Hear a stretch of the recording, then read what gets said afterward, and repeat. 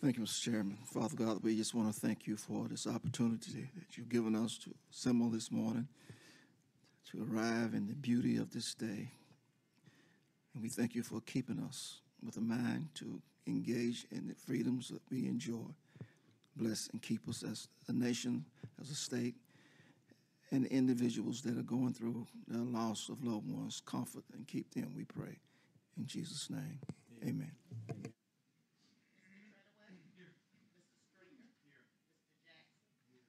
Mr. Bedsole. Here. Mr. Bolter. Here. Mr. England. Mr. Estes. Ms. Fidler. Here. Mr. Gray. Here. Mr. Harbison. Ms. Morris.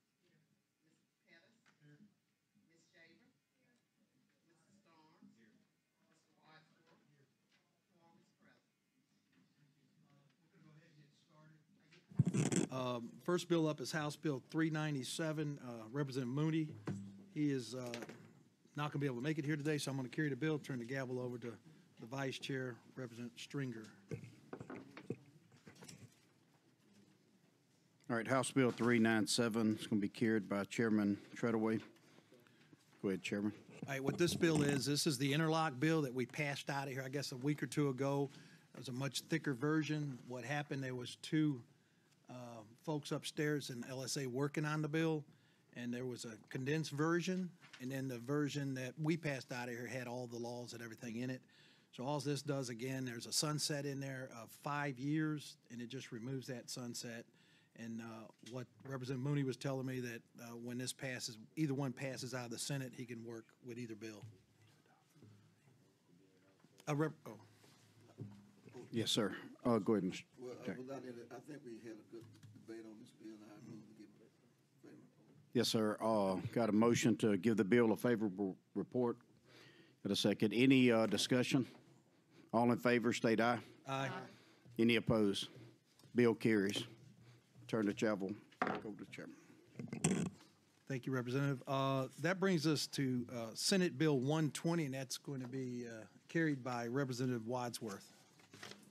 And I believe that bill uh, does have an amendment, so just explain the bill, and then we'll get into the amendment. Here. Thank you, Chairman, and also thank you, Body. Um, I'm carrying this bill on behalf of uh, uh, Senators Coleman Madison. And uh, this, this bill, excuse me, there's an issue in juvenile detention centers that uh, if someone brings contraband into a, uh, into a- a jail, uh, that they can be charged. If any individual brings contraband in, into the DOC, they can be charged. But if you're dealing with a juvenile detention center, if you bring contraband in, uh, they cannot be, cannot be charged in there. What this bill does, it basically says that the juvenile detention center can define the issue of contraband and also, um, uh, uh, charge individuals and, uh, individuals but uh, in this particular bill, when it went from the House, we passed this out of the, in. Yeah, I was about to say that this was passed out of this committee, I think, a week or two ago. Yeah, It was, and when it was, it went to the Senate. Uh, the, Senate version of the same thing, there was an amendment placed on it. It said that juveniles could not be charged. If they had contraband, they could not be charged, and also if they, various things. And then, and then when it came out of the Senate, it was engrossed with that amendment that a juvenile could not be charged. And then, uh, it's my understanding is that there is an amendment being offered to basically take that amendment that the Senate put on it and take it off uh, and make it where juveniles can be charged just like adults for bringing contraband into a facility. Yeah. On that, but the bill, the SB 120 that's engrossed that's down here has a provision that juveniles cannot be charged. But with, with that- this with this amendment that's coming up, uh, what that will do, it will make it the same as that House bill that that we passed. So, um, again, this bill passed out of here with the exception of the amendment you just explained. It's my understanding Representative Stringer is going to offer an amendment to strike that language. That's correct. Okay, so uh, let's go ahead. So we got the bill's been explained. Is there any discussion on the bill as explained with the amendment that's, that came down from the Senate? Representative Jackson and then Representative Morris. Mr. Mr. Chairman, thank you. I just want to ask if you would just clarify for the people's sake, contraband. Well, they have the ability, to- the facility has the ability to find, if they don't want cigarettes, they don't want marijuana, drugs, uh, guns, cell phones, they, they have the ability to find it, just like DLC and also uh, uh, uh, jails. Thank you so much. I don't have a, a question um, per se, but just more of a comment. Um, I like it the way it is, of course, but after having further discussion about it, I can pretty much understand why the um, language needs to be struck out. However, I would like for um, some some things to actually change within the juvenile facility. I was talking to someone and they was telling me about because I've actually visited um, a facility and they are broken down by different colors and placed in two different rooms based on their behavior pattern. And you cannot rehabilitate when you're telling young folk that um, according to this, you are on this level of uh, being bad, being disruptive, and more than likely you're going to end up in prison. That's the way that that it comes off. Um, it's supposed to be a place to rehab, rehabilitation. We find different things, not just for um, juvenile facility, but for DOC also to promote what we are going to do to enhance um, incarceration, but we do not come up with ideas that come through that's going to help uh, rehab right? Because we all know that it, without bodies, the, the business won't work. So we need to have bodies in the beds. But we still have to make it where we're gonna do the right thing by these young people and not have them getting ready or prepared to go to prison. Even though um, we're saying that that's not what we're going to do or try to do, unintended consequences always happen. And young people have to be guided the way that we supposed to guide them. And if we're going to target the people who are actually bringing the contrabands in then that's what we should be doing. And no no juvenile should have contrabands with inside of the facility. But if we are expecting for a 15 or a 16 year old to turn down any type of contrabands when we can't even get the people that's in prison that's over the age of 30 and 40 to turn down a cell phone. I just don't understand how we're going to expect for a 15 year old to do it. I just wish that we would have more things in place to rehab, not divide them based on color, not the, the color of their shirts, right? Not necessarily their skin color, but the color of their, their shirts, or putting them into different dorms based on their behavior. Because if I if I have a, a, a problem, I need to be with someone who's going to actually help me out, and not uh, we are together and we're labeled. So that that would be something that I would actually like to see, and I got somebody said that they're going to help work on this, so I, I appreciate that effort. Thank you. Thank you for your comments. All right, the bill has been explained. Uh, We do have an amendment. Uh, We'll get that before us and then uh, see if there's any questions. Uh, Representative Stringer. Yes, sir, Mr. Chairman. It's going to be on page five. Replace lines 116 through 120 on page five with the following. Section two, although this bill would have as its. On, says replace line 126 on page five with the following. Section three, this act shall become effective on the first. All right, the amendment has been explained, and basically what it does, it strikes out the amendment that was added to the bill, puts it back exactly like the bill that was passed out of this chamber a couple weeks ago. Is there any questions on the amendment? Seeing none, I'll entertain a motion for favorable report. Representative Jackson, second by Pettus. All in favor, say aye. Aye. All right, now the bill is now before us as amended. Do I have uh, any discussion? I got a, a motion by Pettus for favorable report. Uh, All right, second by Fidler to remove, to move the bill out of the committee as amended. All in favor? Indicate by saying aye. All opposed? Okay, the ayes have it. The bill as, uh, has a favorable report as amended. That brings us to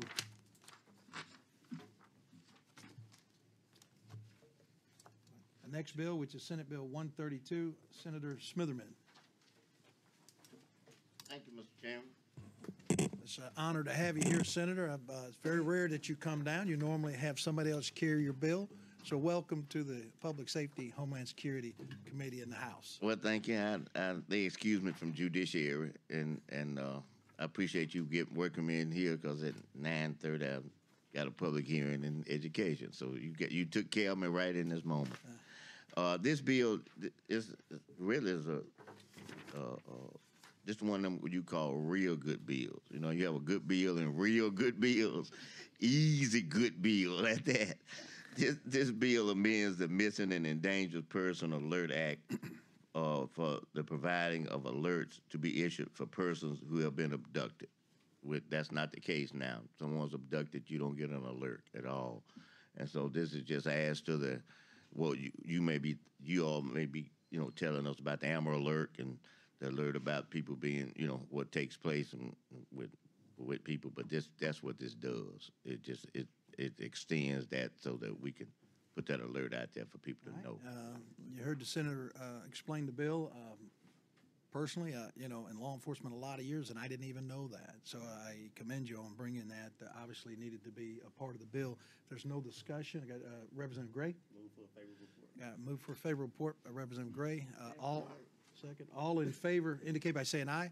All opposed, your bill has a favorable report. Thank you all very much. Appreciate you. I wish it was easy, this easy upstairs. Some things are. Some things really are. Well, can I say a comment? Yes, sir. Uh, now you must shatter them. Yesterday for you and I was really that easy. It was pretty easy. It, it uh, was pretty easy. We, we passed the exhibition driving bill, and uh, I, I appreciate that, and thank you for that. I've known you many, many years, way before I got into the legislature, and uh, I can't believe it was the first time in 17 years we passed a bill. Uh, it, it, I, I can't either, but we hey we started out right. That's a good one. That's right. That's right. Thank y'all very Thank much. you. Yes, sir. Thank you. All right, that brings us uh, to House Bill, I mean, I'm sorry, Senate Bill 154, Senator Barfoot, foot that would be carried by Representative Wadsworth. What, currently, the, uh, the And I law- do believe there's a a amendment for this bill also. It, it is, and, and agreed, a friendly amendment and, and agreed to. Uh, Currently, the law is if you miss a court date, uh, the clerk's office can send notice to the Department of Public Safety and driver's license can be suspended. And then you have to go through the process of, uh, uh, getting reinstated, you know, for this. And what this bill does, originally, the bill was, is that if you missed, uh, two or more court appearances, they could suspend your, uh, driver's license. And then there's an amendment on here that changes that to if they miss one or, uh, if they miss more than one. And the other thing is if they fail to make payments, uh, notice can be sent to the Department of Public Safety and driver's license can be suspended. In, originally, this bill had six or more missed payments. And, and then there was some negotiation going back and forth where it went to two, to four, and finally they, the parties settled on if they missed three, three or more, uh, uh, payments, then their driver's license can be suspended. But then in this particular one also is if their license does get suspended, that it can be reinstated if they, you know, appear in court and uh, pay a reinstatement fee. And but but the original this bill, as is, had six missed payments, uh, two or more missed appearances, and uh, and but what this does is this makes changes to that where it with the amendment it uh, more than one missed court appearances and three or more missed payments can result in suspension of a driver's license, but there's a procedure to reinstate them if they pay a reinstatement fee and, and appear in court. So uh, Representative explained the bill and the amendment at the same time. Is there any question? We'll get the amendment up here in just a second, but is there any questions on the bill? All right, Representative Pettus. Currently, does a judge have an option on this? They don't have to suspend them if they don't want to, is that correct? Uh, I don't know the answer, but I've not, I've not s- seen a judge actually get involved in that issue, because I don't think a judge actually has authority to, uh, and I may be wrong on this, but I don't think a judge has authority to keep a license from being suspended. I think that they're part of the Department of Public Safety, and they, they make that decision. Well, the Department of Public Safety does not have a, a choice, but a judge does. Judge is one has to sign the order to send it in to the Department of Public Safety. Do- I So don't if the know judge don't send it in, you don't get suspended. Okay, According to my judge, this is gonna tie their hands and say they have to send it in now and they have to suspend them. My judge is totally against this bill. She said it just takes their discretion away, because right now they have the discretion. And it's just like my judge said, every case is different. And if you do it this way, you're making them do everybody the same. Uh, it's just, it- she was just totally against it. Okay. And I think there's several judges I've talked to is totally against this bill the way, even with the amendment on it. It's tying their hands more, I because they're saying they have to suspend them now. yeah, I, I understand. So, uh, let, let me follow up. I've Can I, spoken, can I come back? hold on just a second. I've spoken with several, uh, representatives that have a lot of concern because of their judges in their area, but I also heard from the Association of Judges, and they have taken a neutral position on the bill.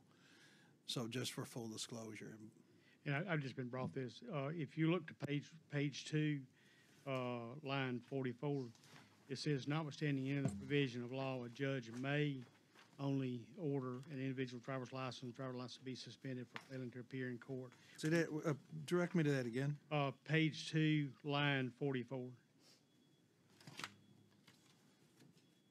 And I think that section, that section may give the judge the discretion.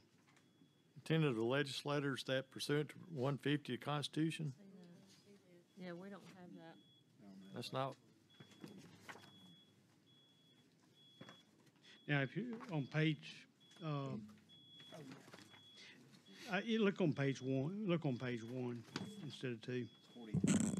In line, uh, uh, fourteen, thirteen and fourteen.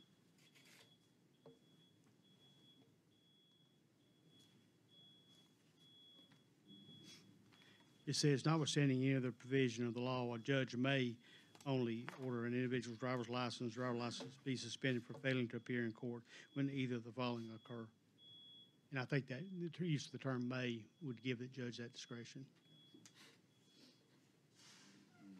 that's not how my judge reads it.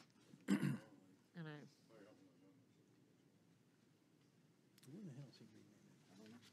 Where, where you reading that at again? Um, on, Page one, what line?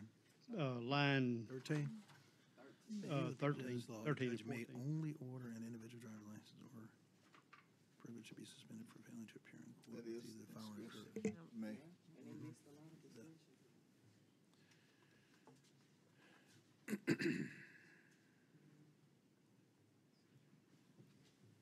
Okay, Representative Jackson.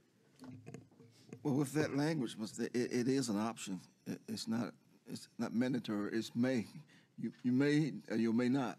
And I, and I, that's the way I look at it. And but it's going to also help our, our, our consumers as they trying to get back and forth to their jobs. So this is going to be, a, I think it's a good, good thing. I've spoken with uh, several of the groups. Uh, ALEA is uh, not opposed to the bill. If the Attorney General gets the amendment we're fixing to offer here in a minute, uh, they will not be opposed to the bill. Uh, The Judge Association has taken a neutral position just for the committee's uh, information on that. I also know that there are individual judges who have spoken uh, and should have with their individual legislators and voiced their position. So just for full disclosure, that's where the various agencies stand. Any other questions on the bill? Let's go ahead and get the amendment. You've explained the amendment, so is there any question on the amendment being offered? Uh, bef- And we'll get it on the bill, and then we'll, we'll go back to discussion. So I'll entertain a motion on the amendment that's been explained. Move to adopt the amendment. All in favor indicate by saying aye. Aye. Aye, all opposed. Okay, so now the bill's before us as amended. Uh, Any questions on the bill? It's- All right, Representative Pettus and Representative Fidler. On page three, line sixty, it says after a final conviction, I know we're talking about convictions, Final conviction means the money is paid. Courts do not send in convictions till after everything's paid. So if they never pay it, they never get convicted. And then they always talk about the point system. If you're not convicted, you get no points. And this does not, this makes it harder. If, the longer you drag it out, they can get several more tickets. The, the bad drivers is what the, the point system is set up to get people, the bad drivers off the road. This is prolonging it even longer. It gives them more time where they don't get the points on their driver license because it says under final conviction. Final conviction means when all, everything's paid before they send it into ALEA. So this is really dragging it out and we're keeping our bad drivers on the road. That's it. All right, Representative Fidler, then Representative Morris. I, I just had to, um, second the, what Representative Pettus said. Our judges don't read it that way with the May. They, they feel like this has taken away their, um, discretion to, and they feel like this is going to, to, uh, just jam up their courts. Um, and that's the feedback I'm getting from my judges. I've, I've not, I've not had any feedback from either one of my judges. That's all I- Representative uh, Morris, and then uh, Representative Pettus. I haven't um, actually received any feedback either, but I, would- I was just wanted to go based on um, bad drivers. So it was once once upon a time for me, I was in school. I had got pulled over and I had some tickets. Um, prolonged, I, I, I, I was paying my tickets, but wasn't paying them as fast as I should. But I was going to school. So I got pulled over again. Luckily, an officer had um, compassion and let me go. But everybody that's receiving tickets are not just bad drivers. Some of us just had a, a bad moment. It could have been a moment where you just just so happened your tag expired and you didn't know and you got a ticket.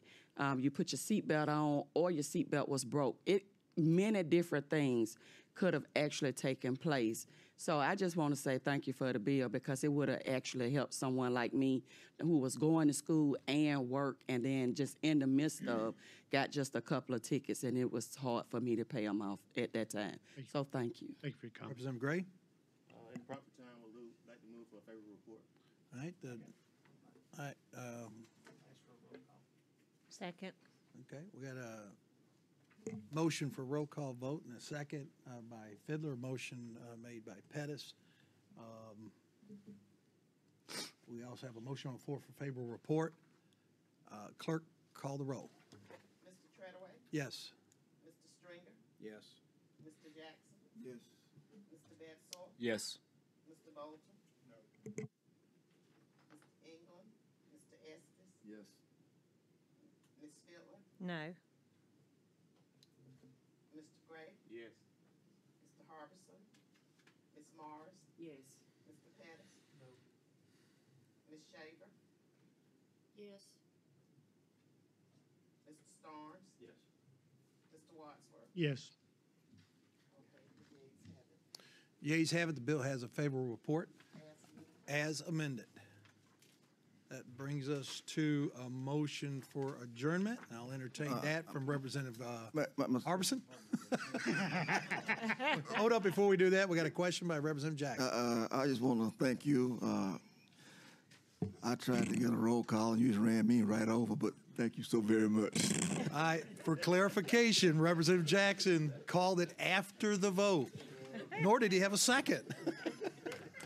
But we're, but we're going to work on our communication. We're going to work on our communication. So, we got a motion by Representative Harbison to adjourn. And, and- and- all in favor, indicate by saying aye. Aye. All opposed? Ayes have it. Hey, Chris. Uh, put you through it today, didn't they?